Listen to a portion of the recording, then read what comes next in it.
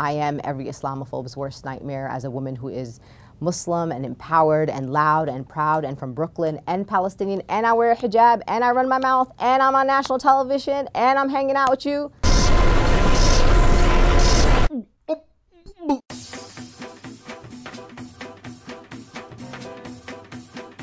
So Linda Sarsour, Soursour?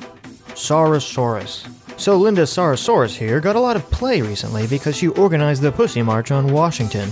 And some people thought it was a little strange that a supposed advocate of Sharia law would organize a woman's march. And are down for Sharia law in America. Sharia law. She's in favor of Sharia law? Wow, that's bad. How bad? Farzana Iqbal was 25, pregnant, and authorities believe murdered by her own family. That's bad. So, Andy, when did she say she was in favor of Sharia law? 20 minutes later. Peace. Oh, that's fantastic, Andy. Never fucking tell us how she advocated for Sharia law, you fucking ass. Now, now, maybe I'm just out of the loop here. If they made a video about Anita Sarkeesian, they wouldn't have to explain why she's horrible. It's just an accepted fact. So I decided to investigate the matter myself. Now, it seems the majority of the Sharia law claims come from these tweets, which, if you want to pause the video and read, you'll see, uh, That's bad. don't look great for her. And of course, we have to bring up her bizarre feud with Ayaan Hirsi Ali, where she told a Somali woman who suffered genital mutilation that she should have her vagina removed and be caned, which, you know, is That's fucked up. Recently, she sort of apologized in a piss poor way. I don't know if she's apologized in the past. That's not what this video is about. This video is about what her and all the other Islamic apologists claim. Context! Now, I must admit to being a horrible straight white American male who's not a follower of Islam, my knowledge on Sharia law is quite non existent. And what better way to find out than to look at the article Linda herself is holding up as a standard of information to straight white American males that cheat on their wives? Not that I would know anything about the last part. Sharia is primarily about a personal relationship with God. So this first paragraph is just about what the word Sharia means. And for once, I don't care what a word means. So moving on to the second paragraph, Sharia is drawn from two main sources the Quran, Islam's holy book, and the Sunnah, or the example set by the Prophet Muhammad. It encompasses both a personal moral code and general religious law that can influence the legal systems of Muslim majority countries. Wait.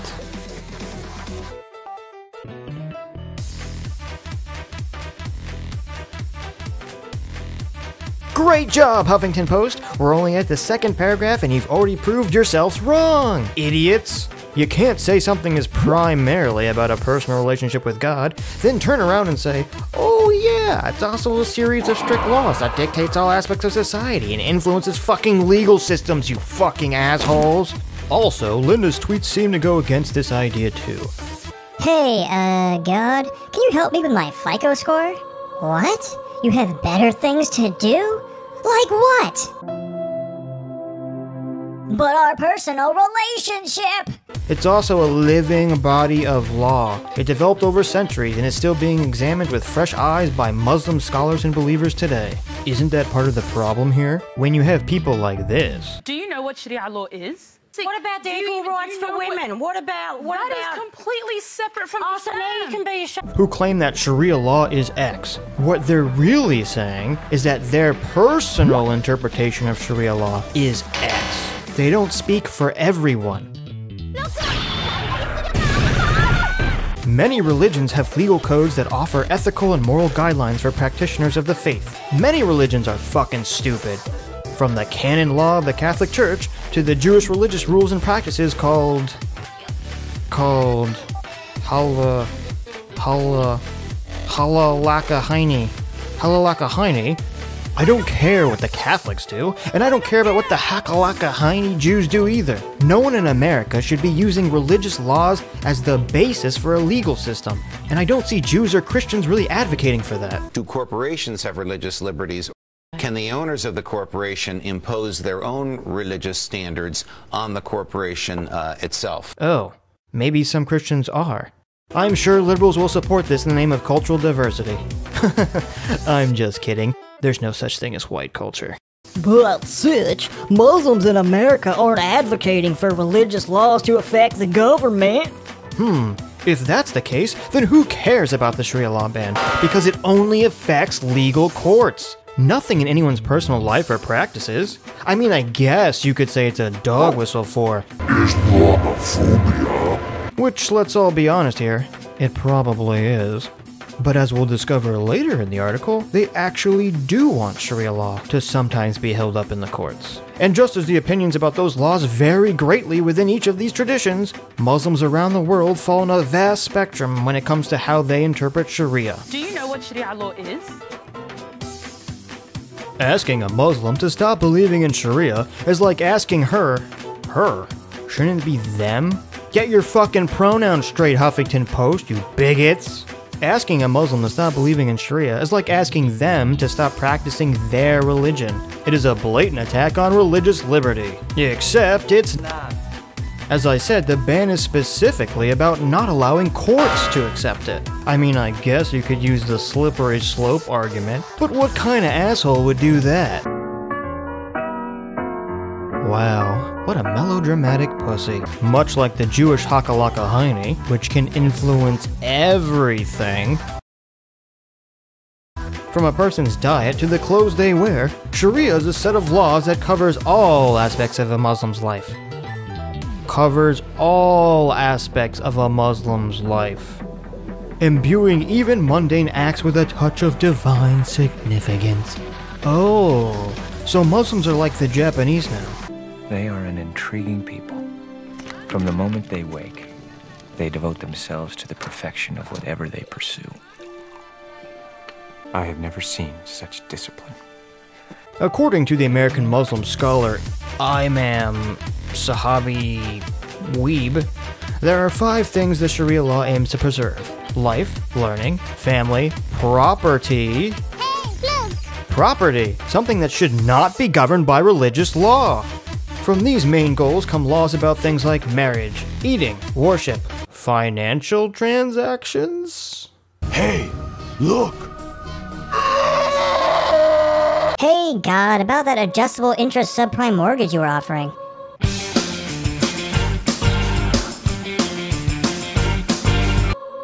Jeez, Jesus, it was just a joke. And many other essential aspects of living in a community. You mean like laws? I'm not sure what my personal relationship with God has to do with my asshole neighbor when he keeps putting his fucking hedge clippings in my yard. Sharia is not all about punishment. oh my god, Huffington Post paid someone for this. Sharia. It's not all about punishment. You know, just the horrifying parts of it. Critics like to focus on violent verses from the Quran in order to paint Sharia as a cruel, draconic legal system that is antithetical to American values, because it is. It's true that Sharia does prescribe harsh punishments for acts like adultery. Oh, okay, so we're all in agreement then. But according to journalist Omar Sacirbey, whoever that is, many of these punishments have been taken out of context, repealed, and require an incredibly high level of evidence.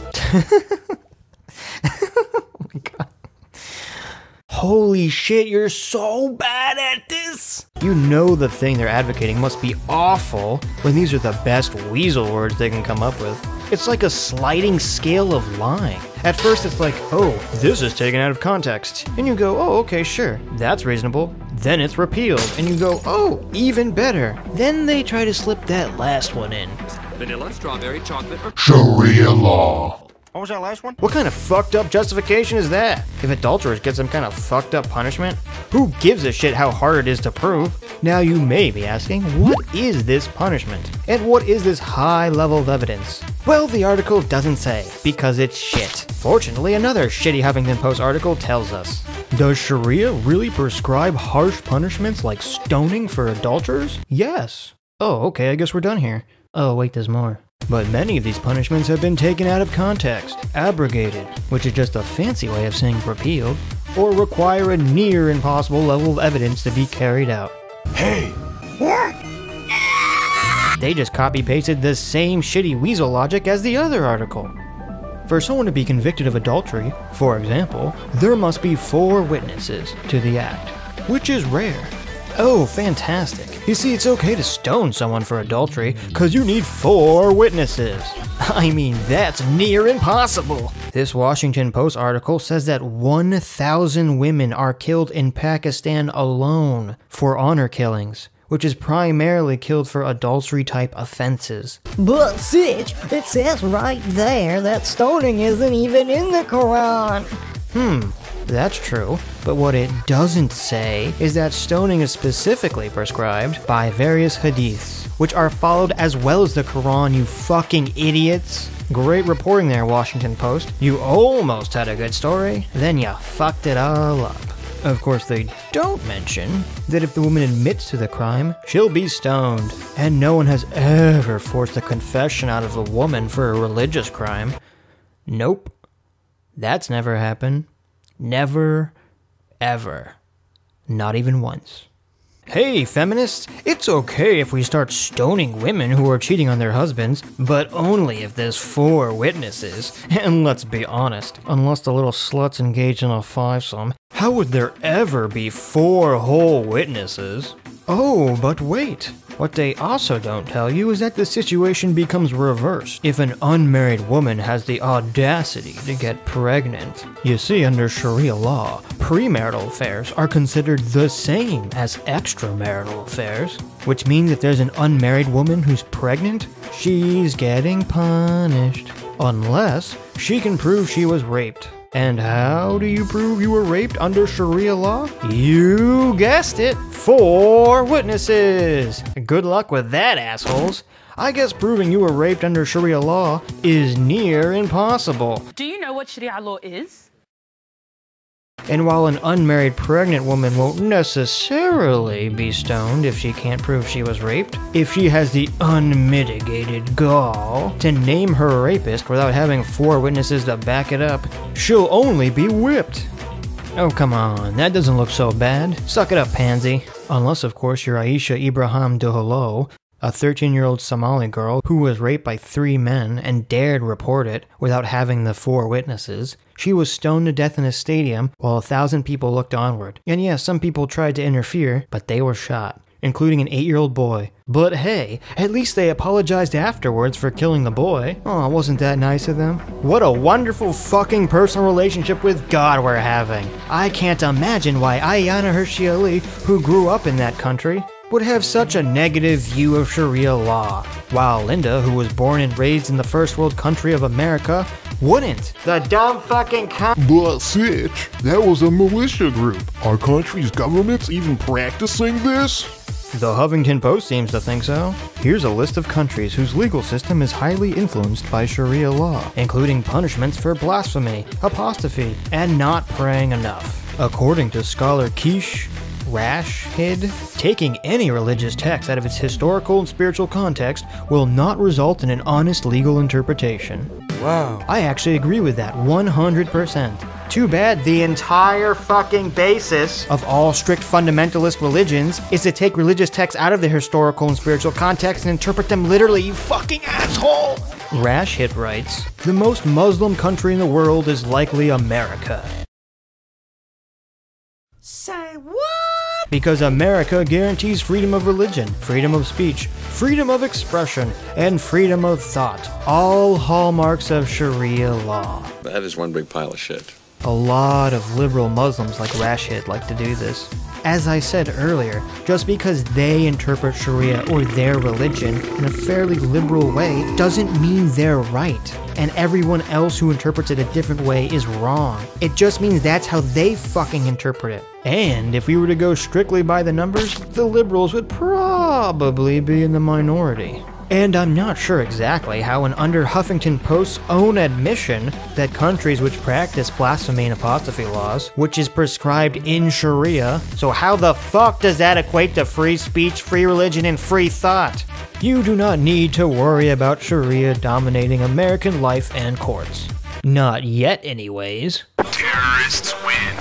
Because nothing trumps the US Constitution. How much you want to bet if this article was written this year, they would not have used the word Trump? No national Muslim organization has ever called for Sharia to supersede American courts. Now, I'm also of the opinion that many, if not most of the people and groups advocating for these Sharia law bans are probably doing so out of an irrational fear.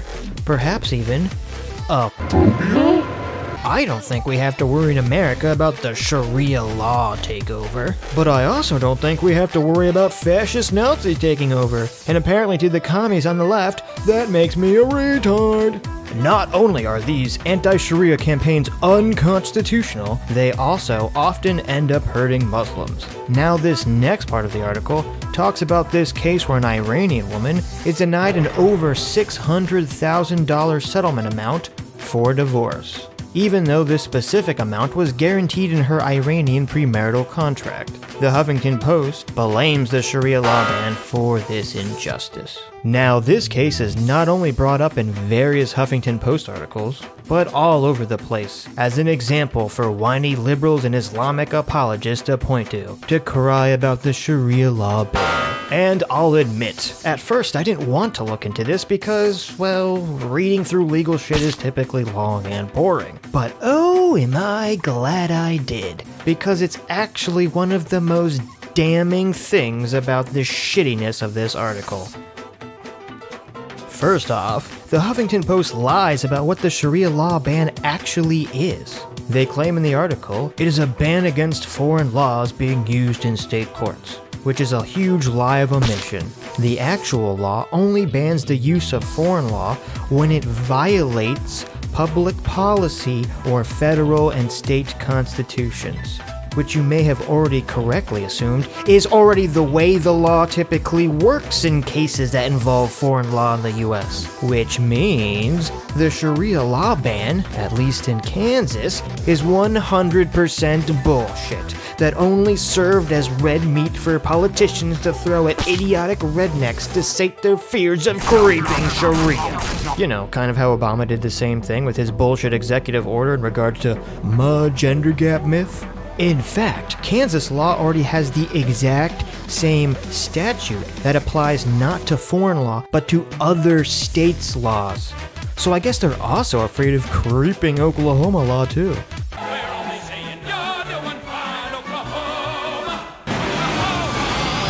It's also important to point out that they say that the jury chose not to factor that contract into its decision about the case. Okay, well apparently whoever wrote this fucking article didn't read the case, because it wasn't a fucking jury trial at all. It was decided by a judge, as often is in divorce cases. A good job there, idiot! Of course, the author of this article's lack of research can be easily seen when you click the fucking source that he linked and find out it's not actually the court's opinion of the case, which is where the judge tells us what the fuck to do, what the fuck happened, and why. Instead, they link to some fucking article written by a law student where he briefly mentions the case for like a page. Interestingly, when he says the name Muhammad in the article, he follows it with Peace be upon him, which I found quite strange until I saw that he was most likely sucking up to his Islamic studies professor. More importantly, I found the student's use of the case as an example of the Sharia law ban in action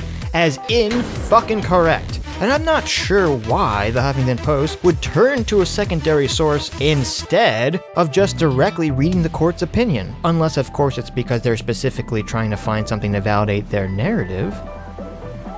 You see, the Huffington Post implies that this lady would have gotten $600,000 if it just wasn't for that dreaded Sharia law ban.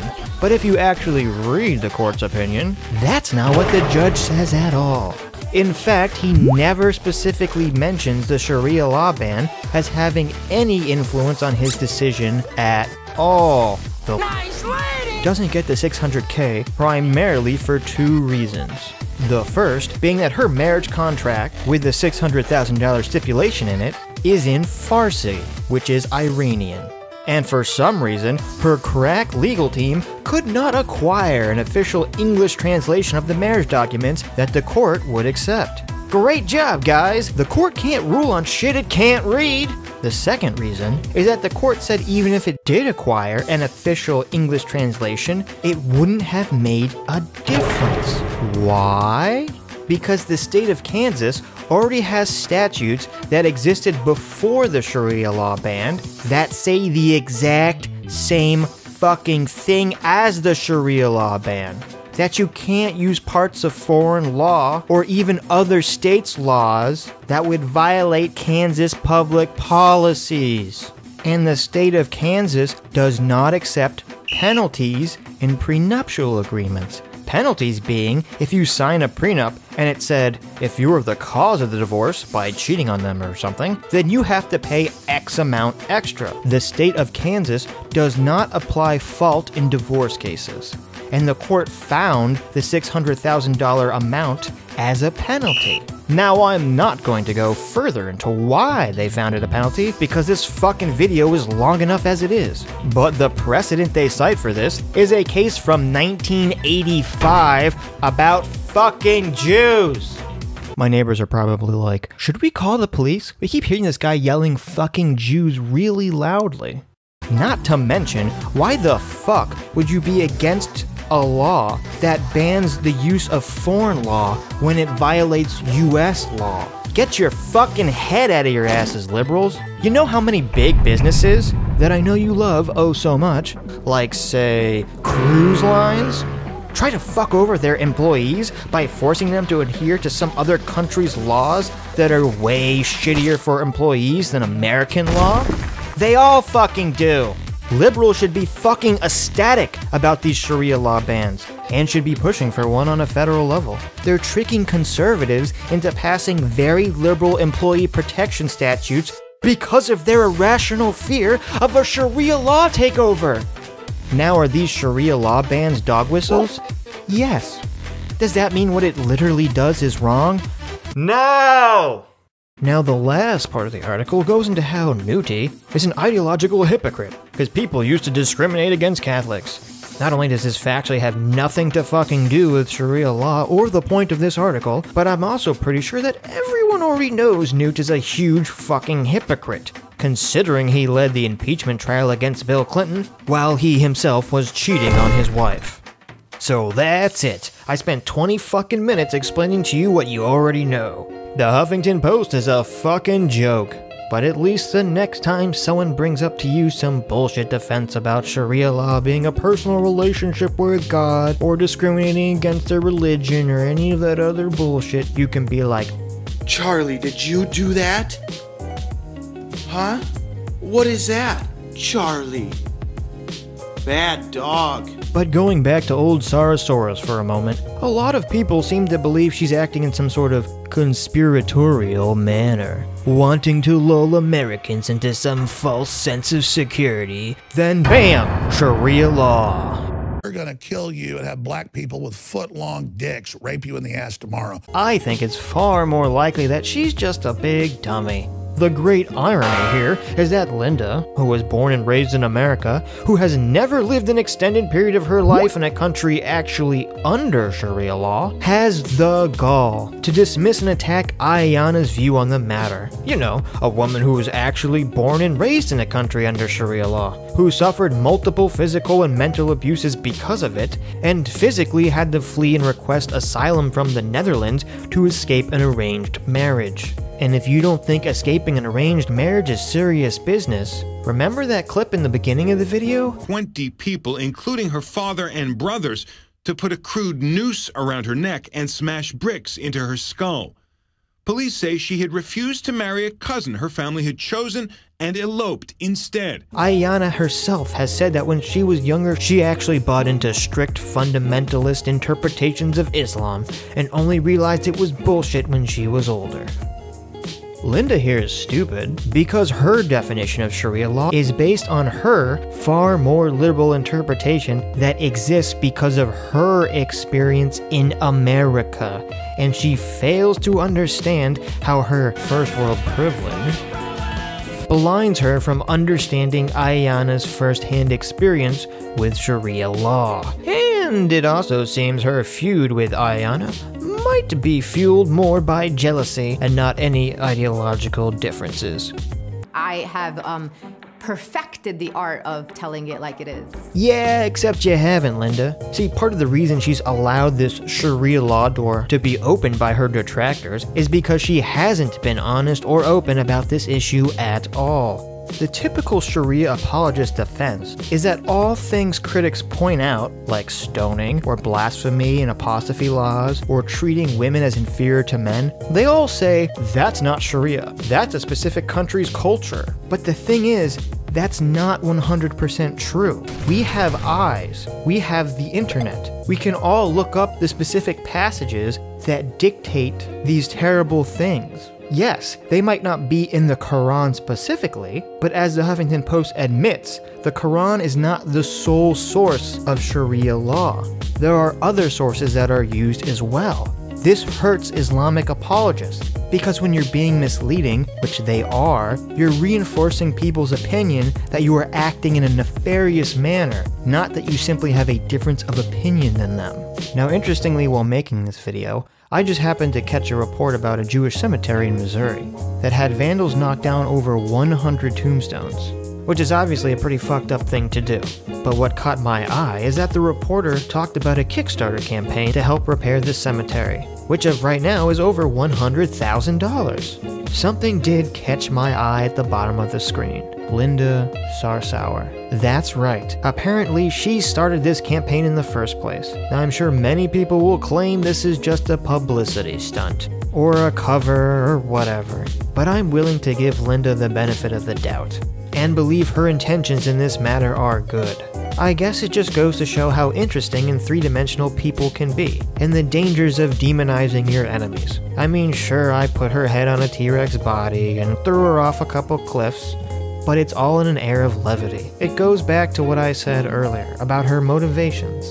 I find it far more likely that Linda's just like every other dumb person, including myself, and just fell into the same stupid mental pitfalls as everyone else, by assuming her experiences of the world, in this case specifically Sharia law, is universal, rather than that she's secretly evil and wants some sort of Sharia law takeover. I guess what I would say if I could directly to Linda is why don't you simply say that you believe in the spiritual and personal aspects of Sharia, but not the judicial aspects of Sharia? You can't dismiss that they don't exist, because they do, but you can say that you don't believe in those aspects. Seems like a pretty straightforward thing to me. Everyone, especially in Western countries, cherry picks stuff out of their religion all the time. Even the most conservative of Jews don't give burnt offerings up to God like he's fucking Zeus or something. And don't yourselves give into this same hyperbolic language as your opponents. Because there's nothing in the current Sharia law bans that would prevent you from practicing your religion in a way that you're already practicing it in America. And by claiming otherwise, I don't know if it's because you're simply being hyperbolic. I don't know if it's because you think it's a dog whistle. I don't know if it's because you believe it's a slippery slope. Or I don't know if it's because you actually want some tenets of Sharia law to be acknowledged by courts. You need to be open and honest about what Sharia is, not only to yourselves, but when talking to other people, because every time you're even slightly dishonest, you give space for your opponents to inhabit and claim everything you're doing is dishonest. Oh, and Huffington Post? Stop fucking sucking. Fat chance, I know. Hey, like this video, subscribe to the channel, and follow me on Twitter, helping justify my existence.